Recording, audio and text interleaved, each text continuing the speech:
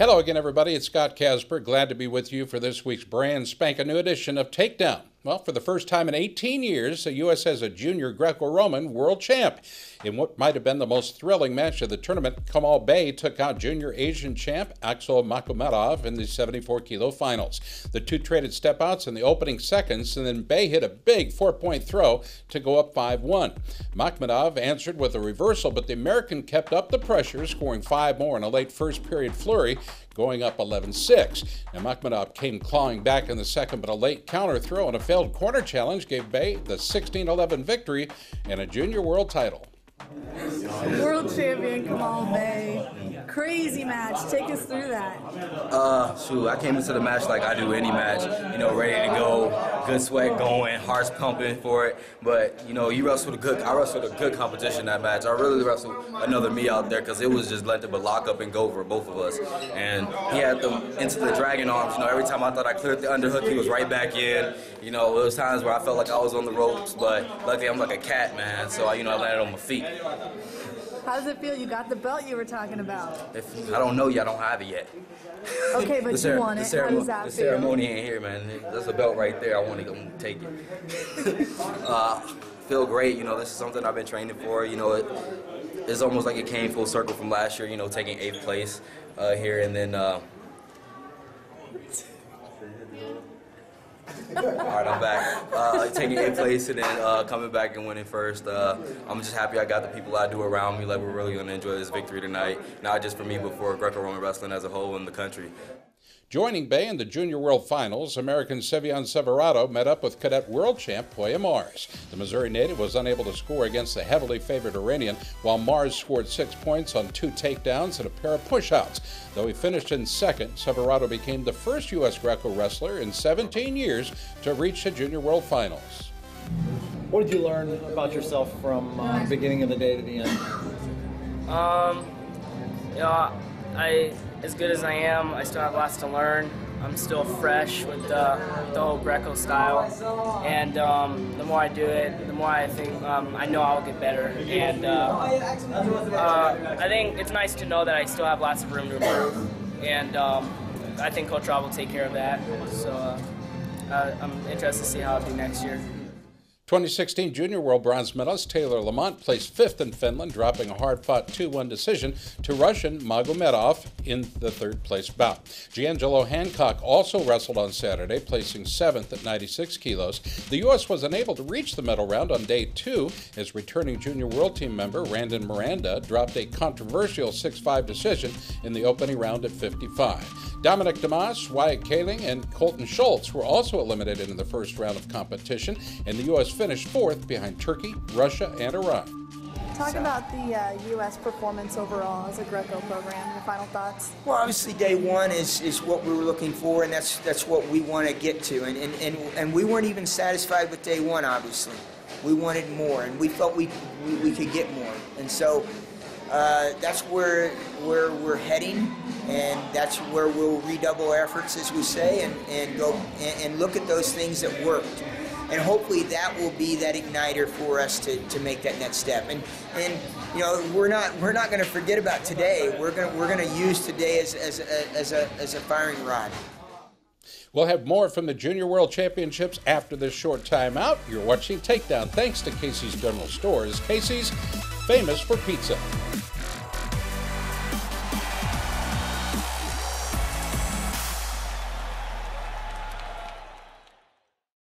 This month at Casey's General Stores, try out our limited time only Philly cheesesteak pizza.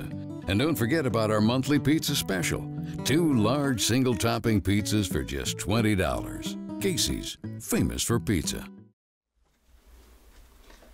I'm Don Beneveni, Beneveni Chevrolet in Granger.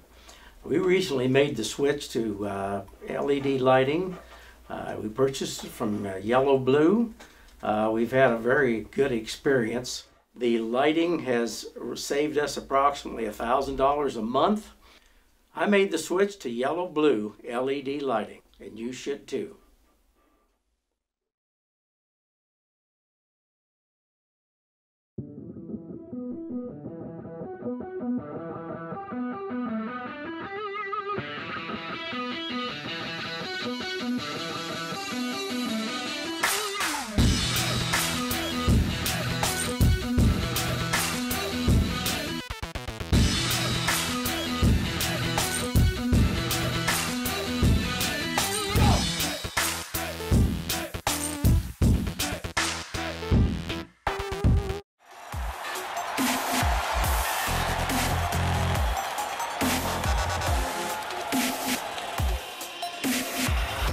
Welcome back to Takedown. Prior to the women's freestyle action at the Junior Worlds, former wrestler and Guardian of the Galaxy star Chris Pratt sent out a very special message to our junior women's team. Let's take a look.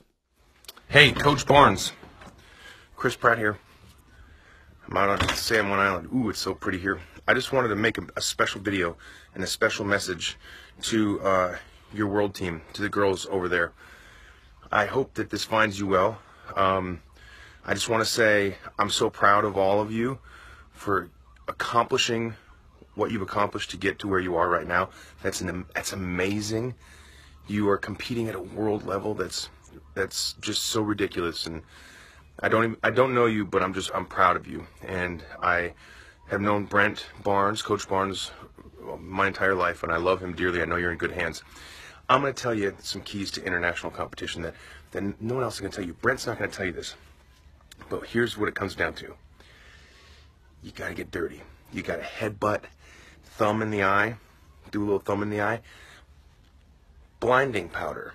If you can find blinding powder tablets, keep them in your singlet, crunch them up. ah, they go blind. They go blind. Double leg. That's that's how I got fifth in state. I used a lot of a lot of blinding powders. Um, mini weaponry. And lastly, uh, voodoo curses. I, I used a lot of voodoo curses wrestling. Um, you're in Finland, I believe. You could probably find a witch or wiccan there to do some disabling spells on your opponents. Uh, and last, I would say, just enjoy yourselves. Have fun. You're making lifelong memories, and you've already accomplished so much. Uh, I know you've got a lot more to accomplish, and the pressure's on for you to go there and compete. And i am thinking about you, and I hope that you, I hope that you you uh, kick ass, each and every one of you. And uh, just remember, it's about the journey, and you're on one hell of a journey. So take like 30 seconds to stop and smell the roses, because you're you're doing something that very very few people on the entire planet get to do. So keep it up, wrestle hard, ladies, and uh, much love.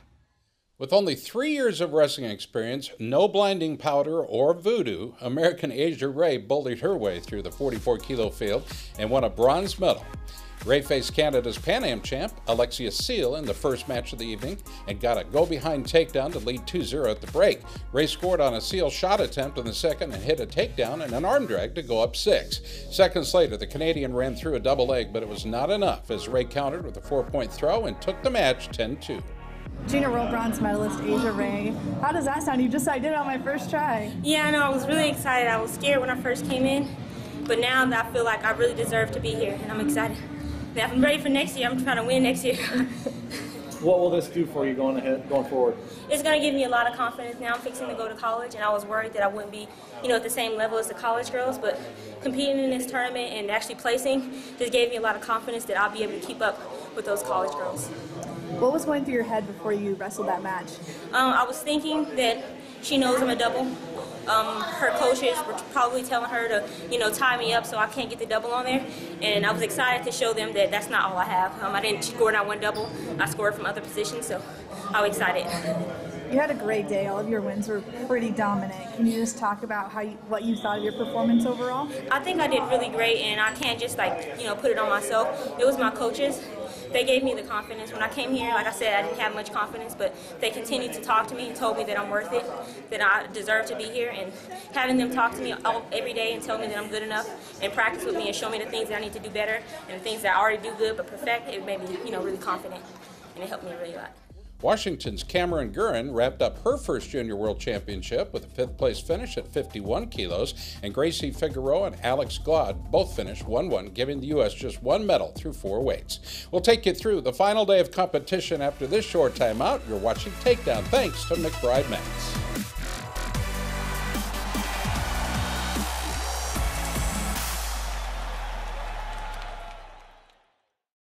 This month at Casey's General Stores, try out our limited time only Philly cheesesteak pizza. And don't forget about our monthly pizza special two large single topping pizzas for just $20. Casey's, famous for pizza. Wow, 40 years. Time really flies. Don't seem like it's been that long. It seemed like only yesterday that I started out route delivering it to the stores. For over 40 years, we're really proud to keep the same quality ingredients and not change our recipe. Help us celebrate our 40th anniversary by joining into our cookies recipe contest with a chance to win a Traeger Bronson 20 smoker. You can enter it on our Facebook page or cookiesbbq.com. Thanks for 40 years, and we'll see you in another 40 years. Cookies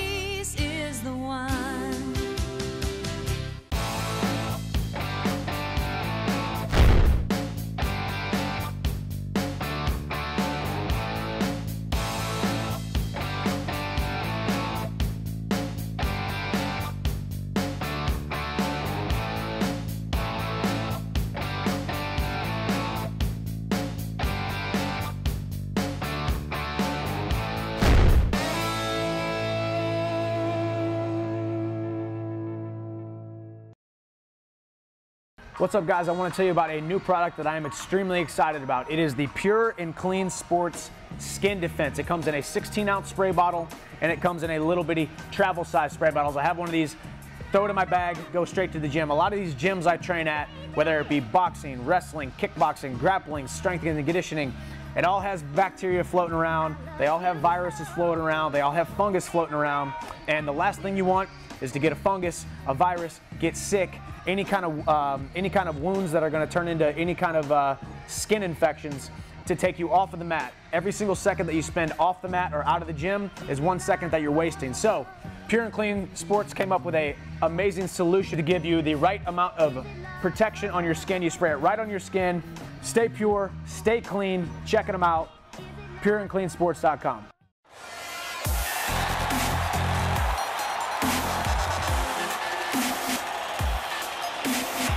Welcome back to our recap of the Junior World Championships. Our coverage continues with the second day of women's freestyle action. That's where Colorado's Maya Nelson teched junior Asian bronze medalist Xing Zhan and then pinned Canadian Pan Am champ Nicole Depa.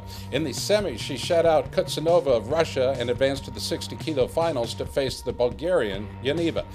Nelson scored the first points on a leg attack and held a two point lead at the break. Maya continued to press the action in the second, and she hit a reshot near the edge of the mat and then put the Bulgarian on her back to seal the 6 0 victory and her first world championship. Maya Nelson, world champion. Congratulations. How are you feeling? I am elated.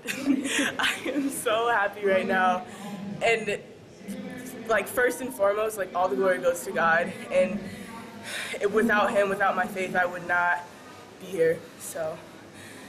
Your day starts with tears, it ends with tears. Yeah, I'm a big baby. It's okay. you can be a big baby as long as you work hard. Am I right? You mentioned earlier um, how nervous you were, how the emotions were kind of getting to you before. How were you before this match? Still nervous. Still nervous. I, I get nervous, and I think it's more excitement than nervousness now that I'm like starting to just get my mojo into I mean I've been wrestling for a while but I mean I've always had that feeling and I always related it with nervousness I always related it with something negative and I think in this match I was just like that's not nervousness that is that is excitement and I can do this and I'm going to do this and I'm not stepping off that mat until I am a world champion. now you've done it. What do you think? I want more. Michaela Campbell, Rona Heaton, and Rachel Waters also represented the U.S. Friday, but were unable to reach the medal rounds. Heaton and Waters each finished 1 1, while Campbell was eliminated in the opening round at 48. Now, with a pair of medals and 29 points, the U.S. took fifth behind Ukraine, China, Russia, and the team champions from Japan. Junior Women World Team coach Erin Vandiver, Maya won a gold medal, Asia won a bronze medal. Talk about this team effort overall. Um, very exciting, great effort overall. The team, um, they stayed positive. They were very encouraging and motivating. I know we had some ups and downs, and even the girls that were down just stayed positive for those girls that were still in it, and they really built each other up over camp. They got to know each other, became a family, and uh, it was pretty unique to see. I know we didn't come out with everything that we wanted, but they learned a lot, and this is a young group, and they just really support each other, and we're there for each other. So the effort as a team was awesome. Maya was our first is our first junior world champ since 2010. What does Yeah, that mean for our women's program that's coming up?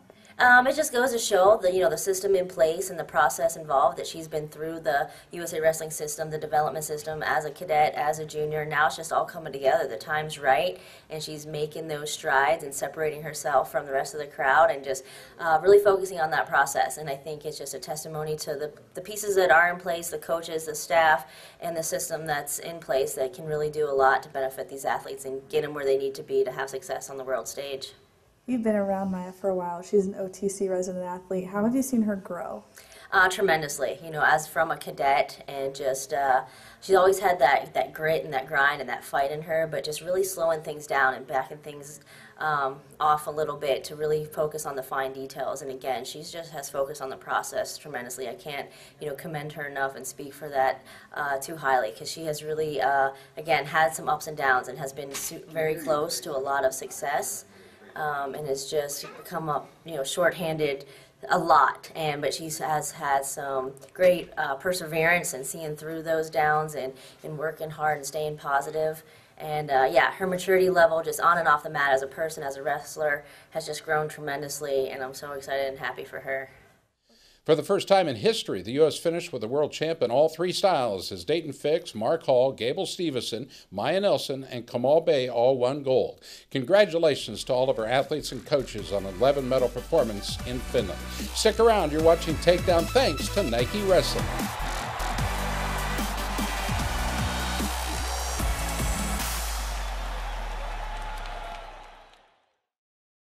The war raged for generations. No amount of bravery and conviction could end the infected, unyielding rage. And with every battle, the evil grew, changed, evolved. The warriors needed nothing short of a miracle to stop the infection, and a miracle they received. Your body is at war against skin infections and diseases each time you step onto the mat. Protect yourself against the invasion. Defend Soap. Defend what you have built.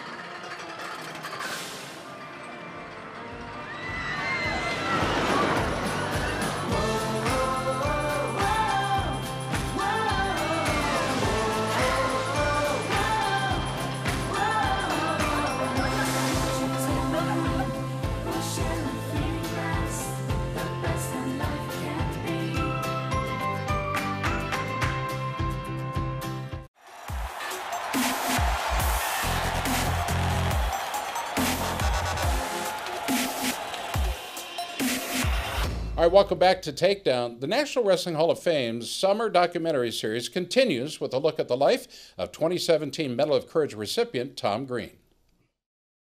I was born in um, New York. That's basically where I was raised, and um, both my parents were middle class people. We had a little uh, hobby farm on the side, so we were always busy doing something. Um, I think my parents instilled a uh, great work ethic uh, through me and my brothers and my sister. Started wrestling in seventh grade. My father really encouraged me to wrestle, and my older brothers wrestled also. Um, as a junior and senior in high school, I made it to the sectional quarterfinals twice. As a junior college wrestler, I made it to the nationals, and I was one match from being an All-American. And then I moved on to Cortland State where I placed twice in the intercollegiate state championships. And uh, my senior year, I was ranked fourth in the nation before I got hurt. Before, before the accident, I worked for Bristol Myers Squibb. Uh, I was a chemical operator there. When all this happened, my wife was, uh, she's a school teacher still. She's not at uh, Southern Cayuga Central Schools. She's a phys ed teacher there. The accident happened when I was at work. Um, I was working a overtime, and it was a pipeline explosion, and I was burnt with uh, potassium hydroxide. From there, I went to uh, the hospital, spent approximately four days, and when I left the hospital, I was uh, basically blind. We went through a series of surgeries to get my uh, vision corrected. Um, I've had over 40, 40 surgeries now, five or six corneal transplants. I've had um, a conjunctiva transplant from my brother to me. My brother Gary donated part of his conjunctiva. I've had uh, synthetic cornea put in. Uh, they've done retinal work. I've had a stent put in my eye twice, or, and I've, I'm scheduled for more surgeries now because my uh, outside layer of my eye is thinning, and I've got scar tissue on the inside that's blocking the pressure. I've had a mouth release. Like when the accident first happened, my mouth healed together. Uh, I couldn't even fit my thumb in my mouth. It was so tight. Just, it's just been, it seems like about every three years I'm due for a surgery. Uh, the recovery, each one was a little different. Some took a lot longer than others. Some were very short and easy, but it was tough. Uh, my wife was a trooper through all this. My family's probably one of the biggest things in my life. Um, I, I honestly don't know what I would do without them. They pick on me a lot and stuff, and which that means I know they love me. And uh, it's just, they're always there for you, no matter how down you get or how bad you're feeling or how good you're feeling. They're always there. And I think that's what family's supposed to be like and I've been very fortunate and very blessed to have such a great family. I got into coaching because of the accident. Um, the, the local school was looking for a coach, and the guy that was going to coach him didn't have a lot of experience, and he knew me, and he came over and asked me if I would help out. I told him I could only do it as a volunteer because of all the, the situation I was in. And they had that started that was 19 years ago that started and i've been coaching ever since at the same school either as a volunteer or as a head coach i've been the head coach now this is my uh, 11th season as a head coach and i volunteered for the first eight his passion for wrestling and his commitment to the kids here at port byron he's been able to overcome um, the, the problem with his sight and he's compassionate uh, about his wrestlers. Uh, he, he'd do anything for them, including spending his own money to, you know, to send them to camp or any, uh, any uh, summer tournaments. He spends his own money, uh, not sponsored by the school. So I, he's very, very com- uh, committed to the sport of wrestling here at Port Byron. I think the referees didn't like my visual handicap because I was close to the mat an awful lot because I couldn't see the wrestlers. the frustration of not really seeing what the kids were doing and then getting them off to the side and then explaining to them what the, how to what the moves were and stuff was probably the biggest part to overcome. I tell the kids no matter how bad something is, it can always get worse or it can always get better depending on how hard you want to work.